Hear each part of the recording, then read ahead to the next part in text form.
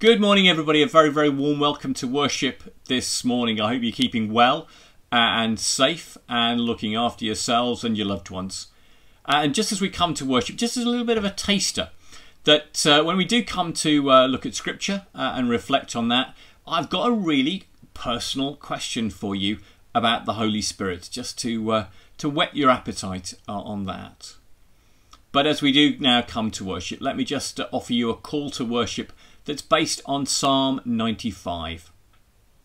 The Lord says, Come, come and sing for joy, offering him your thanks. Come and recognize his greatness and his glory. Come and confess him as Maker and Master, Saviour and security, Lord and life. So let's come with glad and eager hearts to our worship this morning. And the Lord says, Listen. Listen to the urgency of his invitation. Listen to the tenderness of his warnings. Listen to the greatness of his promises. And so let's commit, even now, that we will listen, learn, and obey. So let's come now to our first worship song and we sing along or just allow that worship to uh, to wash over us as we just really do bring our hearts and our minds to the worship of our great and wonderful God.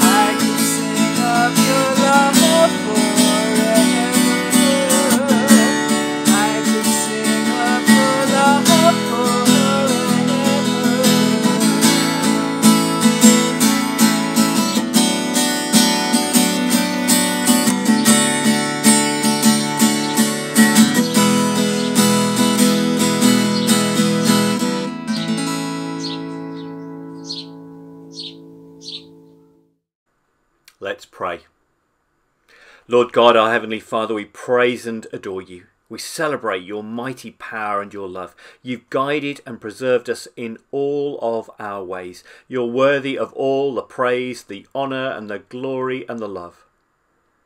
Your glory is beyond all of our thoughts because you're the Alpha and Omega, the first and the last. You're beyond all letters and all words, beyond all that we can say or think. Accept our praise and adoration through the merits of your Son and our Saviour Jesus Christ. Amen. And God of grace, and of love. Forgive us. We turn away from our sins and our lack of trust. God of grace and love, forgive us. We turn away from our sins and our holding back. God of grace and love, forgive us. We turn away from our sins and seek your healing. God of grace and love, forgive us. And may we have that assurance that we are set free, we are made whole and new in you. Amen.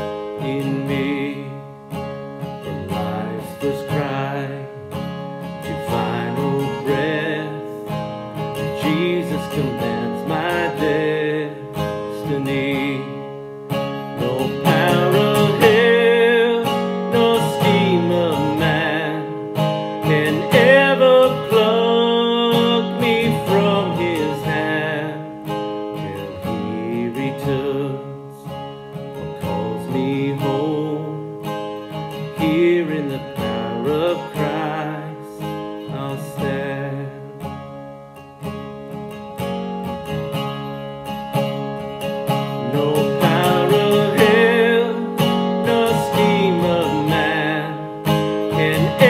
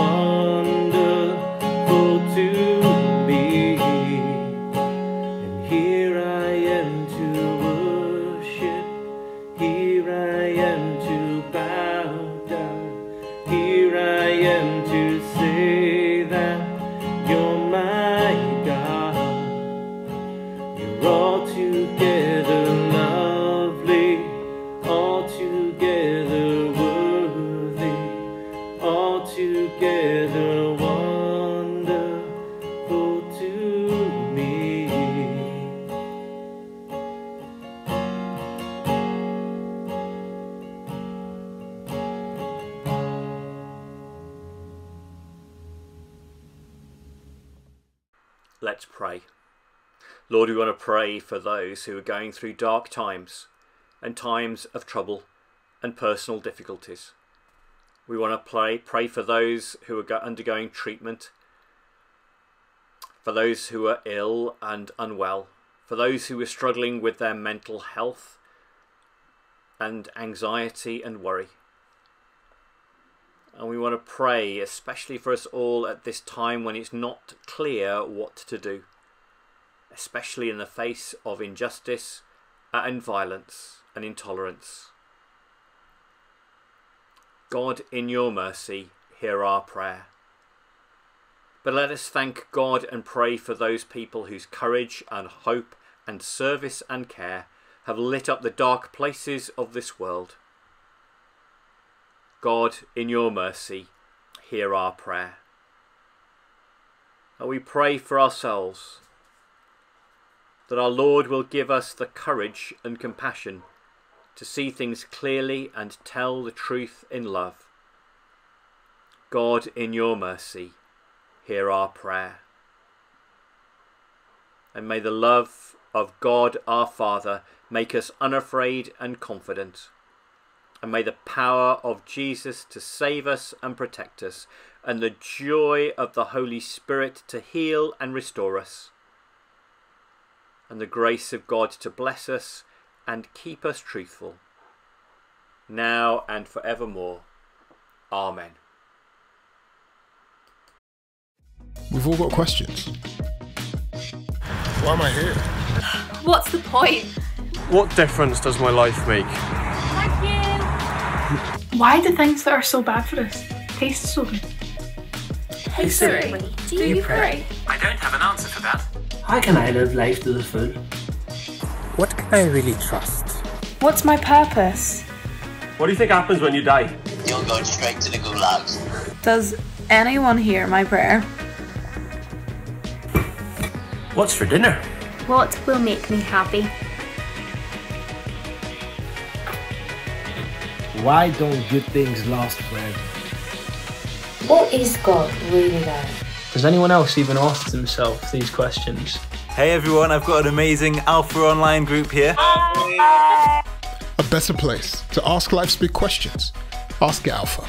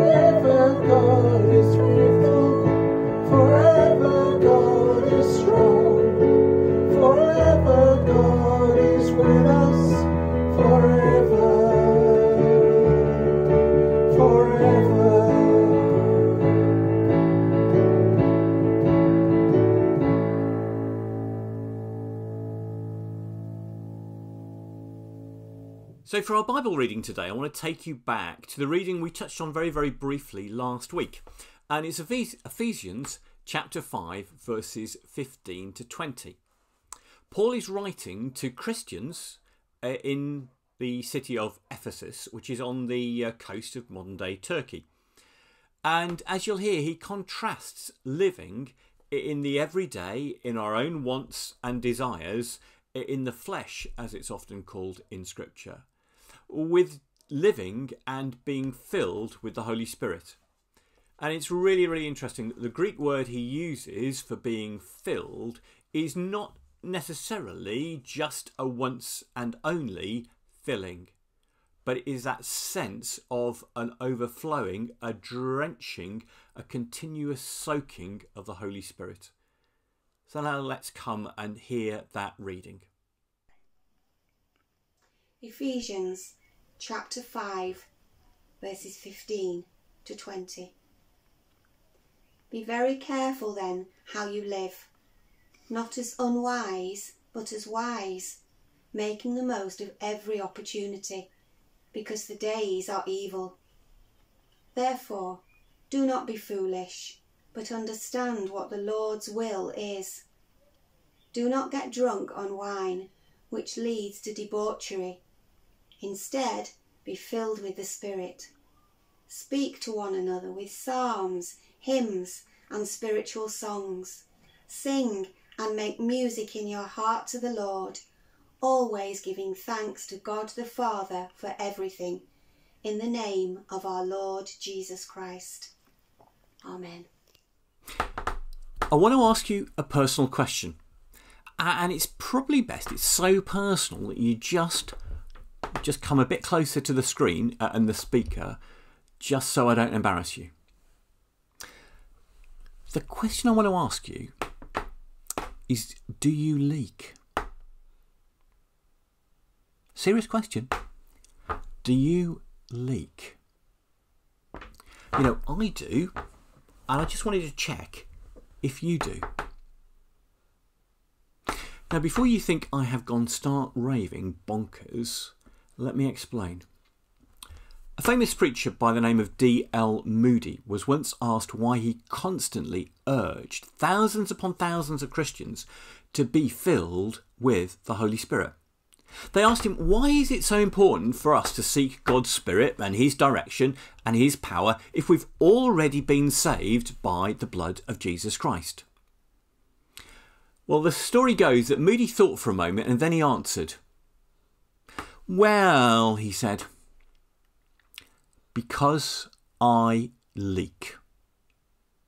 Now, he didn't literally mean that he had a hole in himself that allowed the Holy Spirit to leak out. But rather, Moody acknowledged that his own sinful nature worked constantly in opposition to the Spirit and the holiness of God. And he knew that each day he needed more of God and more of his Spirit to overcome the stubborn, sinless failings and frailties that lurked within him. So, do you leak? If you're honest, we all do, don't we? We all leak the Spirit. And in a sense, the biblical wording that we're going to have a look at now is in a sense that we grieve the Spirit, we quench the Spirit, and we therefore leak the Spirit out of our lives. You see, due to our imperfections and our sins, you know, one day that we are overflowing with love and compassion and zeal for the Lord. And we see the Lord at work in mighty ways and want that mountaintop experience to continue day after day after day. And yet the next day we wake up and our flesh compels us to drag ourselves around like grumpy, snarling dogs, having a go at everyone who is in our way. We all desperately need the continual filling of the Holy Spirit to avoid the ups and downs of the Christian life. And the Spirit allows us to consistently do what we otherwise could never do in and through our own strength and in and through the flesh. But let's just go back to a basic understanding. You see, a person who is full of the Spirit is a person who has given up control of their lives because they profess Jesus as their Lord. And life in the Spirit, as the Apostle calls it, is a life full of adventure, a life that isn't boring or routine. You see, Scripture, the Bible says that where the Spirit of the Lord is, there is freedom. However, Scripture is clear that being filled with the Holy Spirit is an ongoing thing that every Christian should seek. This doesn't mean we keep receiving the Spirit over and over again. It doesn't mean that we keep being saved when filled every time we receive Him. The Spirit lives in us upon salvation when we profess Jesus as our Lord. But Scripture talks about a filling with the Spirit which is different to that. You see, filling means that we're able to receive something from the Spirit over and over again. And it's not something that is for our benefit, our, for our status in the faith. It's actually something that shines the light of Jesus to show others who he is. You see, being filled with the Spirit is not about us, it's about him. And the biggest mistakes we make is that it is all about us. when it is all about shining light on Jesus Christ as the Lord and Saviour of our lives. So, what does Scripture say about being filled with the Holy Spirit? Let's look at some uh, of the evidence from Scripture. You see, the Apostle Paul gives us an apostolic command to be filled with the Spirit in his letter to this church in Asia Minor. And if you look a bit deeper in some of his other letters uh, uh, and what it looks like in the book of Acts, they are absolutely saturated with that command. Paul is pleading with people what to do and to live their lives for Christ. And Paul addresses how we as Christians should live.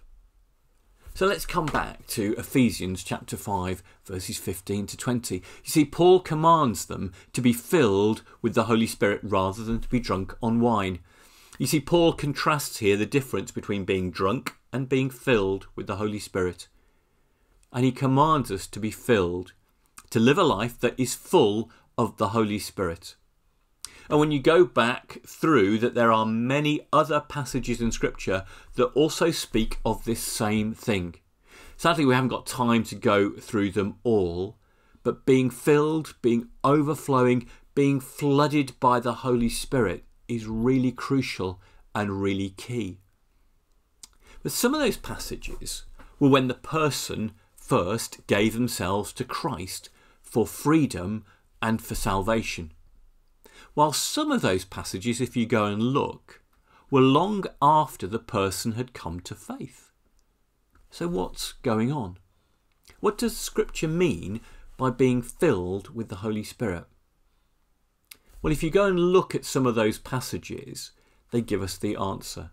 You see, each time in Scripture that we see the phrase filled with the Spirit, it's always associated with God's power and with a boldness in their faith. We see times where a person is empowered to live a life of faith which can only be done through the Holy Spirit. We don't come to faith because we choose it. You see, the Spirit pushes and guides us towards it, and we have to make that choice to respond. That I know this personally, and it explains why for 28 years of my life I didn't do much or care about faith in Jesus.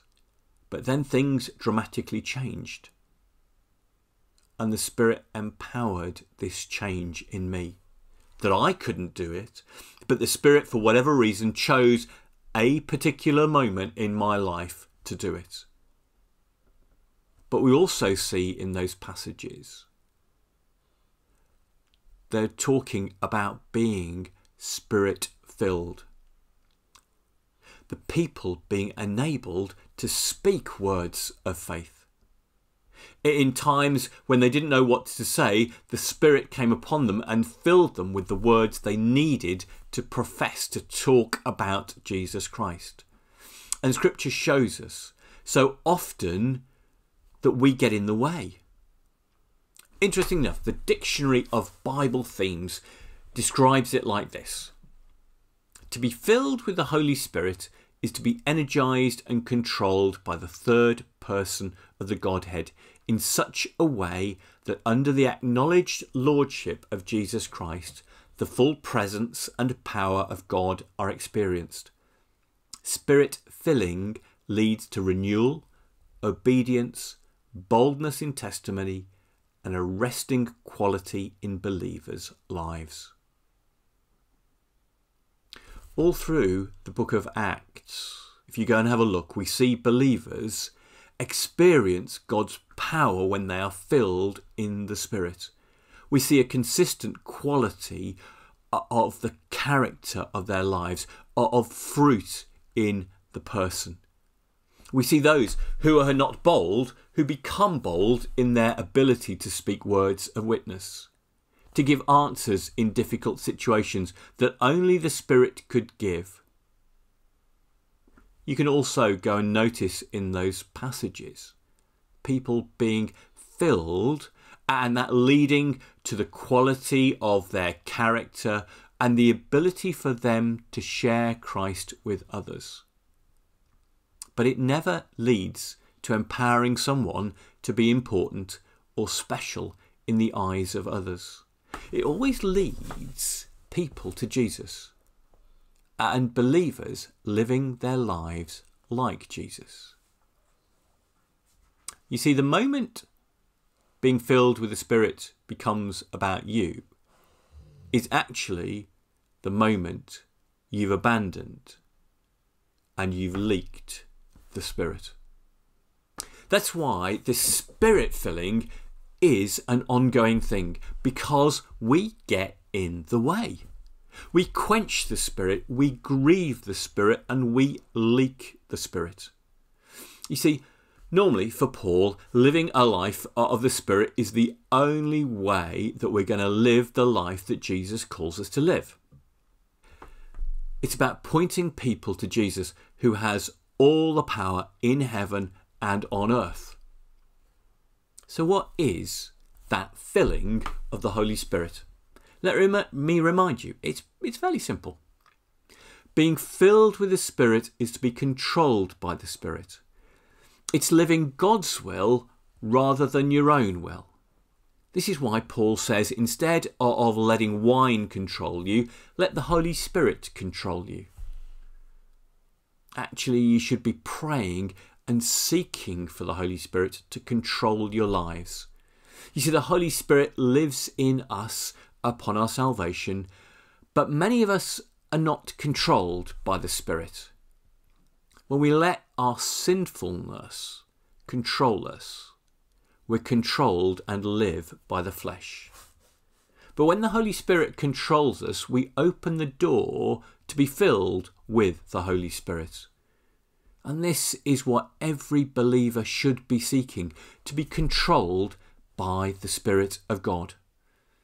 Us, but our sinful nature says so many times, uh uh uh, no, no, no, no, I'm in control. Nobody is going to control me apart from me. But professing Jesus as Lord means giving up the right to have control. You see, if the Spirit controls our thoughts, our thoughts become pure. If the Spirit controls our actions, our actions show the fruit of the Spirit in our lives. You know, if you go back to Paul's letter to the Galatians, chapter 5, verses 22 to 23, he says, The Spirit of the fruit is love, is joy, is peace, is forbearance, is kindness, is goodness, is faithfulness, is gentleness and self control. Against such things there is no law. These things are evident in our character when the Spirit is controlling us. But if I am in control of my life, I am just full of the flesh and nothing more. You see, Paul in the verses just before this, uh, in verses 19 to 21, says this The acts of the flesh are obvious sexual immorality, impurity, debauchery, idolatry and witchcraft, hatred and discord, jealousy, fits of rage, selfish ambition, dissensions, factions and envy, drunkenness, orgies, and the like. I warn you, as I did before, that those who live like this will not inherit the kingdom of God. Just think about it. Those who live by the flesh will not inherit the kingdom of God. He's writing to Christians. But those who live by the Spirit are living in God's kingdom now and forever. In other words, filled by the Spirit, you're living a spirit filled life, not fill, not being filled, you're living a flesh filled life. You see it in the book of Acts uh, an awful lot. You see, God takes someone who is weak in the flesh and makes them bold in the spirit over and over uh, again. So, how do we live a life filled with the Holy Spirit? A spirit filled life. Firstly, let remi- me remind you and explain how we end up living our faith without the power of the Holy Spirit. How we leak Him. The two most common barriers to a life in the Spirit are grieving the Holy Spirit and quenching the Spirit. I talked about this a tiny bit last week when I pointed out that the, the, the Holy Spirit is a person with feelings. And the Apostle Paul says this in, Ephesians chapter 4, verse 30. Do not grieve the Holy Spirit of God, with whom you were sealed for the day of redemption. There are things many of us do in our lives that deeply grieve God. Listen to the list that Paul goes on to say. Get rid of all bitterness, rage, anger, brawling, and slander, along with every form of malice. To put it simply, that you can't be filled with bitterness and be filled with the Spirit. That you can't be filled with anger and be filled with the Spirit. You can't be filled with malice, the desire to harm someone or have ill will against anyone, and be filled with the Holy Spirit. You can't be filled with hatred and be filled with the Holy Spirit. You can't say to be living for Christ, spirit filled, if there are any of those things in your life. And the second issue in believers' lives that hold us back from the spirit filled life is the quenching of the Spirit. Thank goodness the Spirit is in us and keeps pulling us and nudging us back to the Spirit filled life. But there is that question how do you respond to that? Nudging and pulling and guiding, or, or do you let your flesh prevail? You see, that second issue which holds us back from the spirit filled life and makes us leak, it comes from a very simple verse in Paul's le- first letter to the Thessalonians, chapter 5, verse 19. He simply says, Do not quench the spirit. To quench the spirit is to stifle or suppress his work in you. To resist the change that the Spirit is calling you to because it might disrupt your comfort, for instance. Uh, essentially, to quench the Spirit means you resist the Spirit in your life. It, means you worry, you struggle with fear, you're easily affected by the world around you. That maybe your life is full of greed or pride or gossip, and you always want things your way. Quenching the spirit means that you're living life by your terms and condition and by your control, not God's.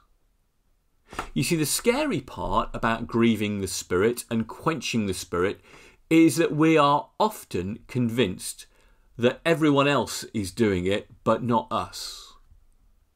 And we don't even notice that we are living in a way that God is grieved about.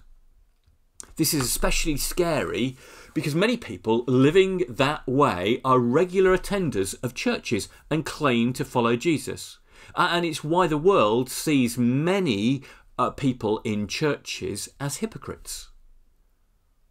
It's why Paul commands us to seek the life of the Spirit, to be filled with the Holy Spirit.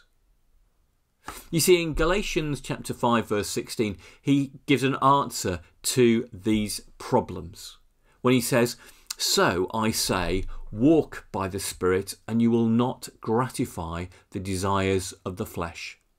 You see, if you start to notice the things that I've just listed a little bit earlier that are part of your life, maybe you start to notice your distance from God.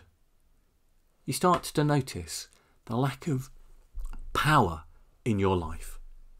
You start to notice that no one in your life ever hears about Jesus from you.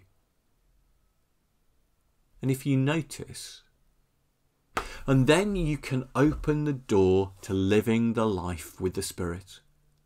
becoming aware of your sin and your failings and your frailties. And that's just the first step. And then you have the opportunity to live in the Spirit. And all you have to do is to repent. It's a change of heart and mind, which is internal. And then you have to change your actions, which are external. But it's not in terms of repentance, not just a case of saying, oops, sorry, caught again, won't do it again, but carry on doing it. But you've got to start to notice that maybe we're messed up, we're self centered, and how we naturally struggle with this. And then maybe you get those glimpses and you see how we are all broken. Because in the Bible, Paul says, in the moments of our brokenness, we can see Christ the most. When we don't have anything else blocking our view and our way. You see, when life is good, we can act like we don't need the Spirit.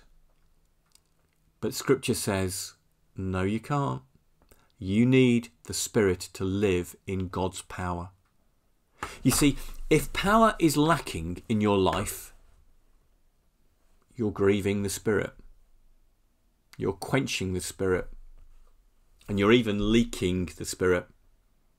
You see, when church is boring, you're quenching and grieving the Spirit. We need to ask for forgiveness, and God will pour out His Spirit upon us. So, how? To be filled and to be continually filled by the Spirit. Stop grieving the Holy Spirit. Work your way through that list that I read out for you and stop doing them. To stop quenching the Holy Spirit, go over that list and stop doing them.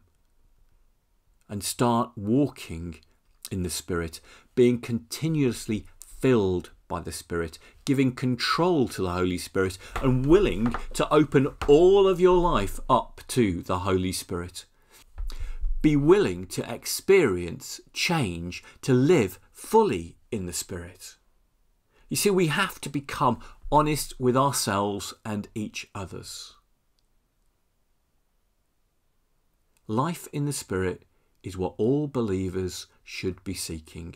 You see, it is attainable, it is possible to live how Jesus calls us to live.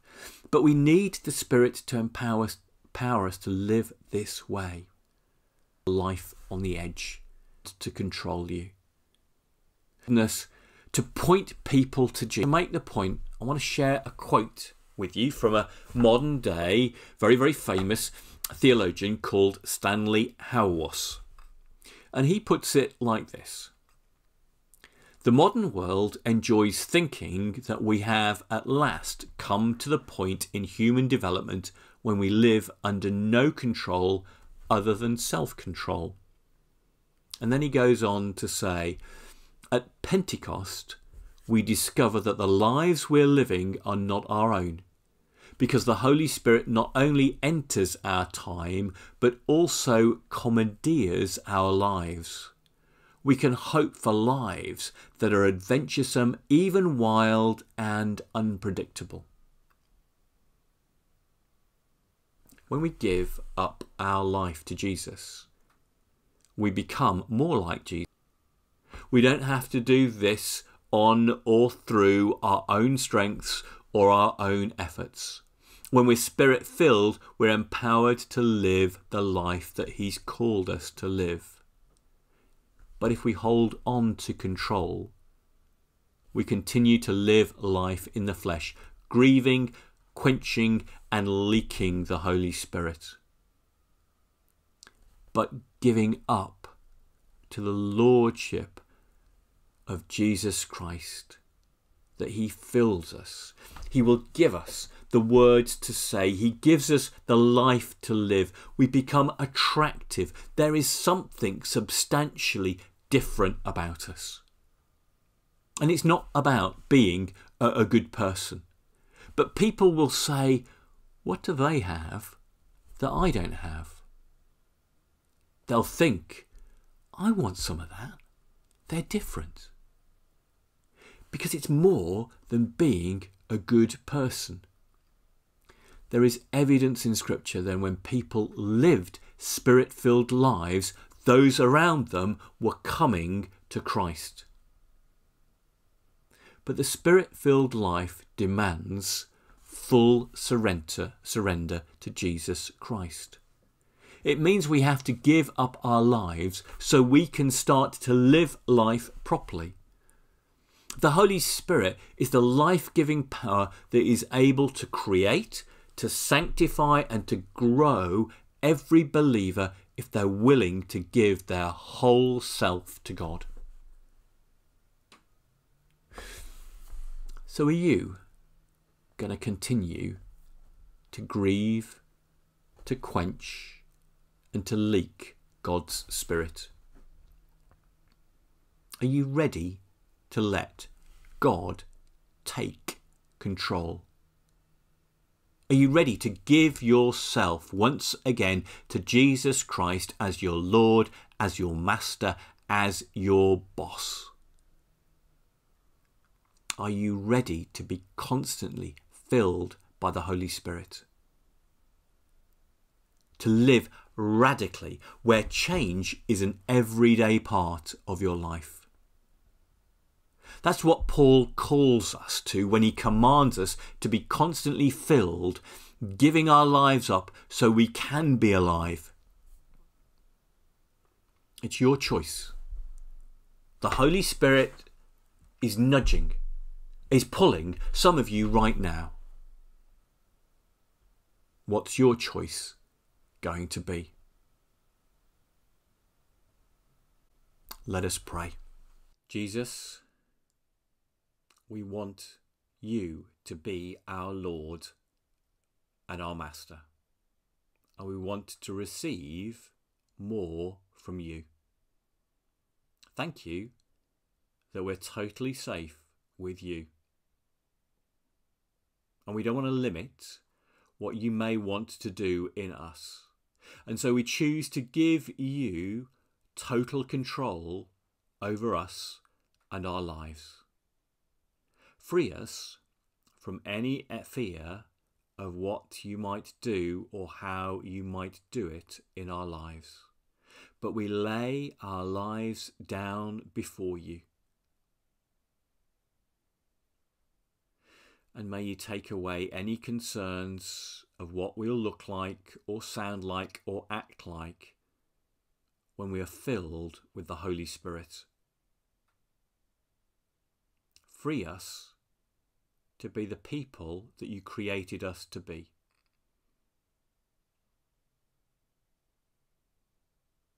And we ask you to lead us so that we can become more and more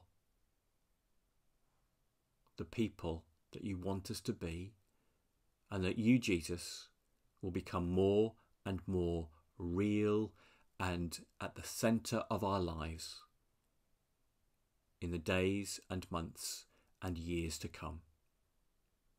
Amen.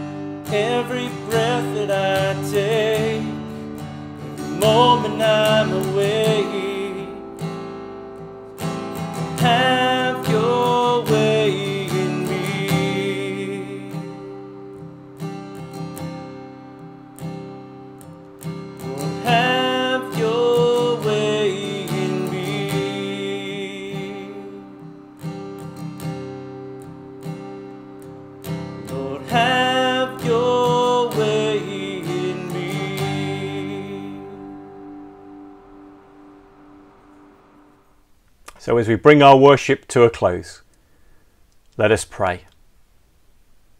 Father, we just ask that we would all, as we go into this week, increasingly have the mind that was in Jesus Christ.